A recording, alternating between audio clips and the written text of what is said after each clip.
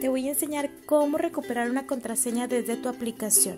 Vamos a poner ahí donde dice olvidaste tu contraseña e inmediatamente le ponemos nuestro número de socio y le ponemos enviar. Nos va a enviar un correo a nuestra bandeja de entrada, así que hay que ir al correo para ver cuál es ese código que nos envió para poder recuperar nuestra contraseña.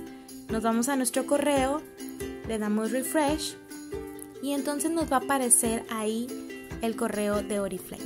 Si tú estuvieras en tu computadora te da la opción de enviar un SMS con el código o un mail. En este caso en la aplicación te da la opción del mail.